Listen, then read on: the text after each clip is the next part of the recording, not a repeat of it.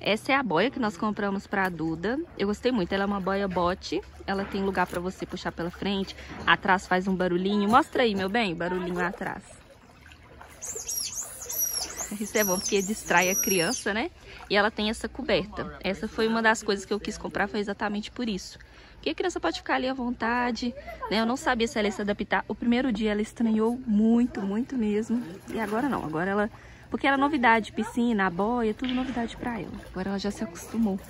E olha, é muito confortável. E a criança fica também segura de todos os lados. É melhor, é mais fácil pra gente guiar. Você pode puxar até por trás, pela frente. Eu comprei nessa cor, né, nesse tom de rosa, mas eu vi que tem outras cores pra menino também. Você tá fazendo de coçar o dentinho?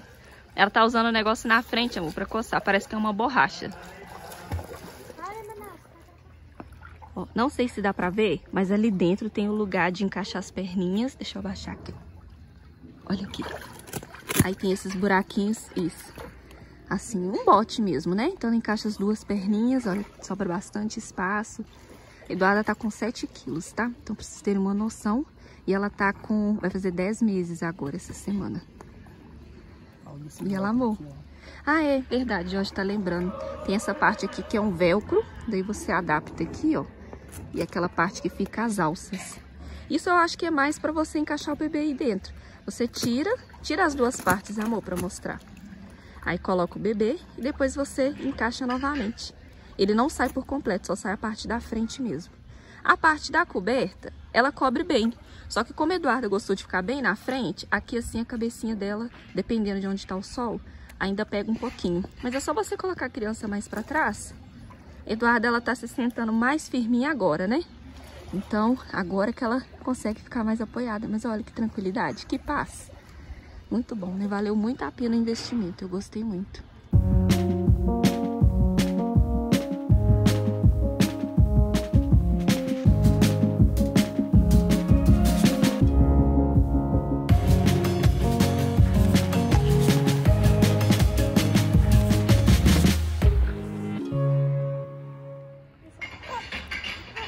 Como eu não tô lembrando o preço dessa boia de cabeça, eu vou colocar aqui na telinha para vocês terem uma noção para quem gostou, para quem vai para piscina, leva o bebê, vai para o Mercado Livre, que é um lugar acho que todo mundo tem acesso.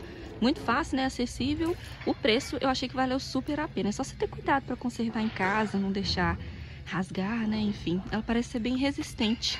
Eu gostei muito. Pra gente aqui tá aprovada. Primeiro dia, como eu disse, Eduardo estranhou, mas hoje ela tá curtindo de boa. E ainda ganhou o mordedor. Ela, ela cismou que aquilo ali é pra coçar o dentinho. Dá mais liberdade pra criança também. Você consegue ficar... Até pros pais. Fica mais à vontade, né? Você fica ali ao redor. E acho que não corre risco de virar. No caso do Eduardo, ela tá ali só batendo perninha, bracinho. Só se for uma criança talvez muito agitada, com mais quilos, pode correr o risco de virar. No caso dela aqui tá super de boa.